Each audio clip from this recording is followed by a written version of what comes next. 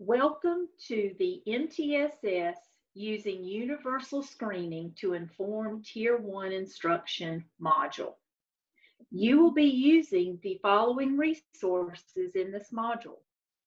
The database problem solving domain from the SAM. The overview of a system for assessment with guiding questions.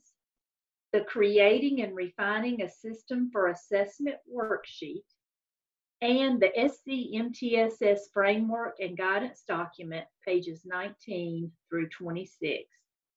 Hyperlinks to the resources are provided. However, you might want to have hard copies on hand as you work through the module. During this module, we will be learning how different types of assessment work together to inform Tier 1 instruction. Take a look at the success criteria so that at, at the end of the module, you can gauge success.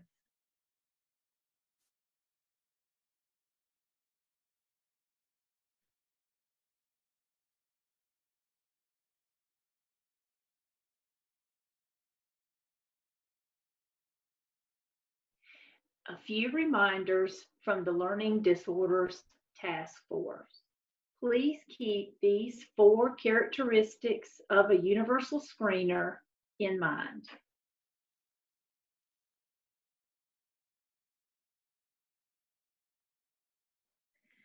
The next two slides list the approved universal screeners for reading to be used as part of the MTSS process. These are the screeners that the Learning Disabilities Task Force identified as meeting the four criteria for screeners.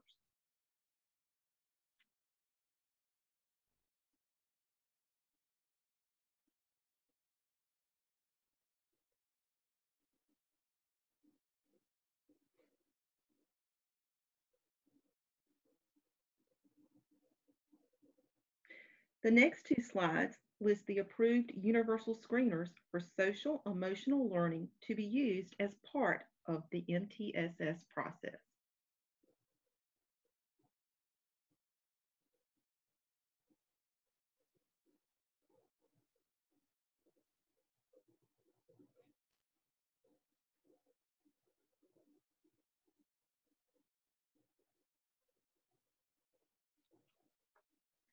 Once the universal screener is given to students in kindergarten and in first grade, it is important for teacher, for school leaders, grade level teams, and teachers to answer the questions above. Are 80 to 90% of students' needs being met by core instruction? Once the school has ensured that Tier 1 instruction is effective in meeting the needs of 80 to 90% of students, supplemental instruction is provided in Tier 2. This means that approximately 15% of students would need additional support in Tier 2. This is in addition to the 90 minutes of core literacy instruction. If Tier 1 is not effective, refer to Section 2 of the Dyslexia Handbook.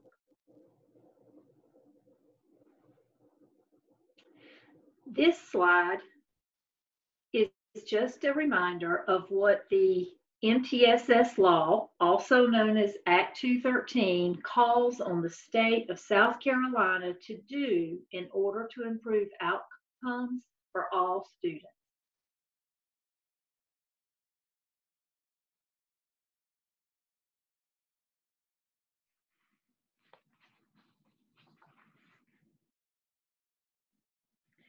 The U.S. Department of Education has defined what a universal screener is. Universal screening is the first step in the MTSS process. Take a minute and read this definition and really pay attention to the words and phrases which are bolded. This definition speaks to the four criteria from the Learning Disabilities Task Force. This definition is from page 21 of the South Carolina MTSS Framework and Guidance Document.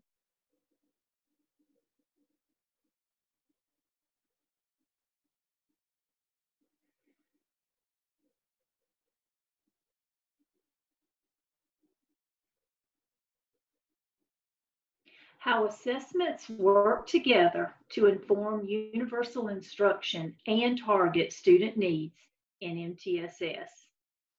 This graphic illustrates how these four types of assessments work together as a system, a data system, to inform universal instruction and target student needs.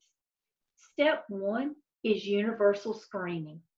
All students take this assessment to determine the effectiveness of Tier 1 instruction and the potential, identify the potential for struggle for individual students. So for the students scoring in red, diagnostically assess them first. Students scoring in yellow next, and finally, the students scoring in green. These diagnostic assessments like DRA, Fountas and Pinnell, benchmark system, they tell us what students are struggling with around the big five components of literacy identified by the National Reading Panel. And they help us determine to determine the intensity of support needed. All students should be progress monitored along the way. This is your benchmarking system. What needs to be done for students who are exceeding the benchmarks? What needs to be done for students who are meeting the benchmarks? And finally, what needs to be done for students who are not meeting the benchmarks? Summative assessments are most effective when they are used to determine the health of the universal core instruction. Remember, the SC Ready reports can be broken down by grade level and standard in order to see patterns of improvement needed to core instruction. Take some time to read this slide closely. Notice the time frames for each assessment, each type of assessment. The school's database problem solving teams use this assessment system to impact outcomes for all students.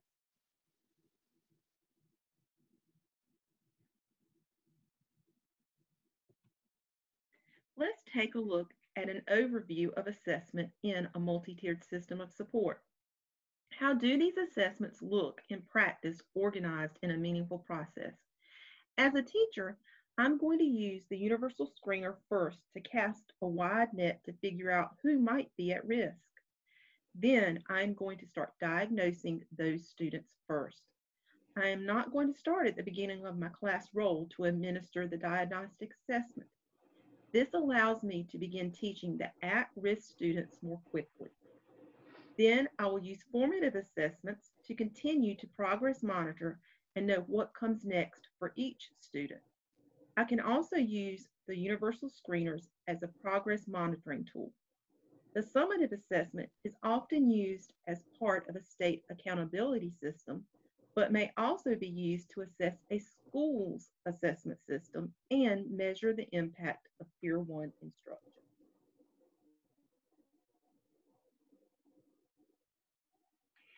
Now let's take a look at what this work looks like in as a system.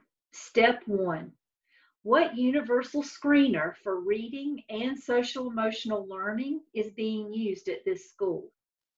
How will the school leadership team use this data to make decisions regarding Tier 1 instruction?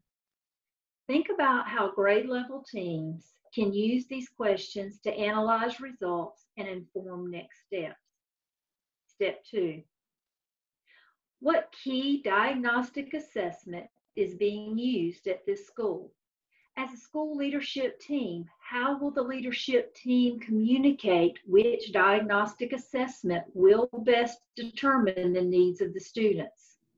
How will the leadership team communicate that students who have been flagged red or yellow by the universal screener will be diagnostically assessed first? How will the leadership team communicate that another quick or on-demand assessment like a writing sample will be used to triangulate the data and get a more complete picture of what students can do so that intensified instruction can begin immediately. Think about how the grade levels teams will work together using all three data points to determine next steps for students. Step three, how will the school progress monitor and adjust instruction accordingly to meet the needs of all students? Which common assessments will the school use to determine this?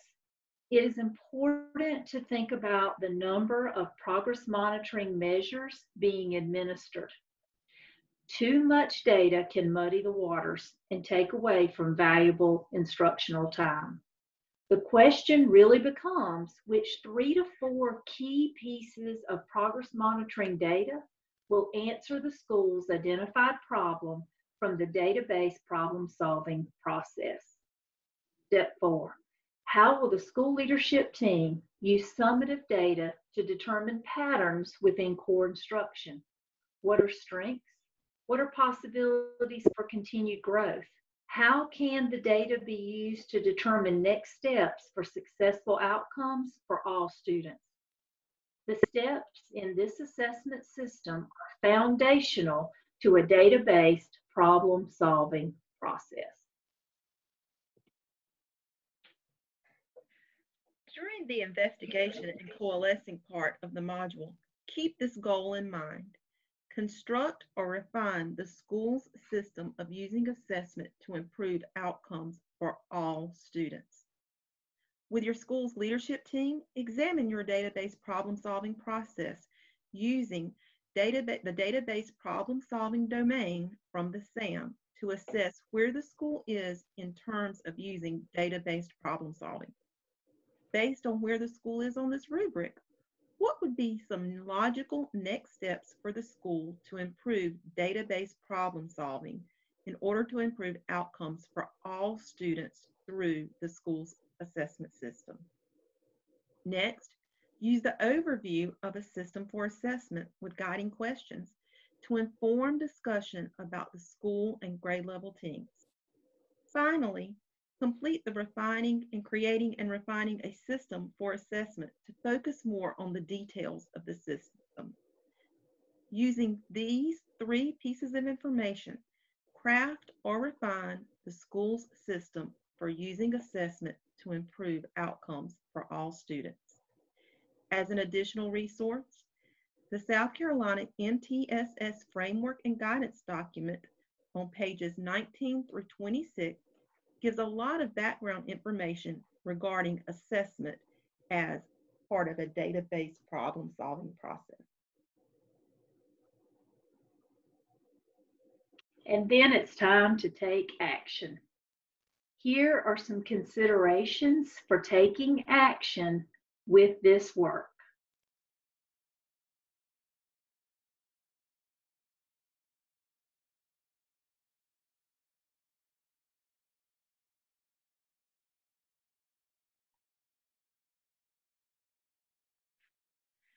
Take a minute to reflect and debrief.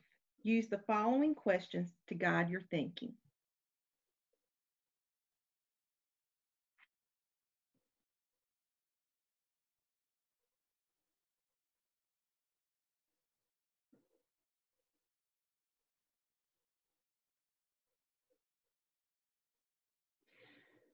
Thank you so much for taking time out of your busy schedules to participate in this module on MTSS using universal screening as part of the data process.